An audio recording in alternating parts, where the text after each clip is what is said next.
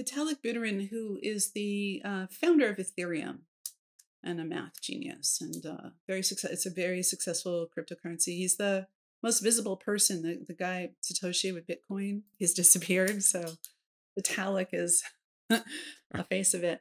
But anyway, he was looking for help on COVID. So he called me. I'm like, look, if I could have done any help on COVID, I would have dropped everything in early 2020. Mm. He's like, no, I think you can do it. So it just started talking to him like 10 o'clock Friday nights, my time zone. I don't know where he was. And, you know, he'd ask these really good questions. So I'd end up spending the weekend thinking about it, write a few pages, and it just continued where we realized we should take the company open source and maybe we could help with COVID and long COVID and many other diseases. The diseases accelerated by COVID.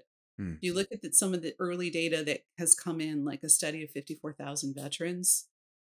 It's uh, it's uh, amazing. The the risk of neurodegenerative disease doubles if you've had long COVID.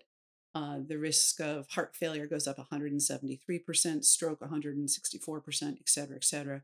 And also, we think we can help with long COVID because we can see blood flow. If you mm-hmm. drop COVID into a vial of blood, you get these microclots. Those are probably not, since they're 10 to 100 microns in size, they're not making it through the capillaries. Again, I'm just a physicist, but seems to make sense to me. There's an issue there.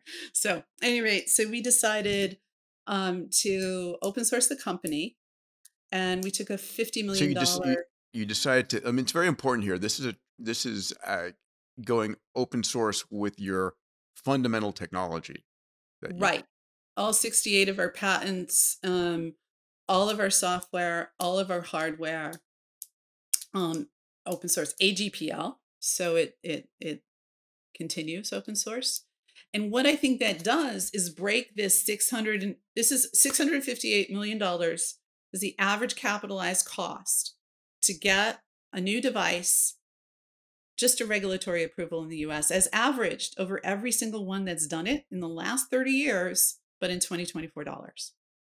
It's staggering. And what's really interesting here is that 85% of that cost is actually the device development. It's not the trials. If you take that, there's another 7% if you share safety data.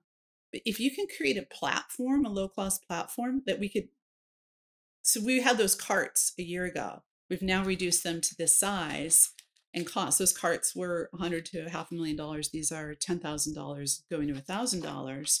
People can buy them. Open source is a distribution model, but it's a trust model. Yes. So so we have everybody, lots and lots of people buying these things for R&D to get their regulatory approval. The regulatory approval become like apps on an Android phone.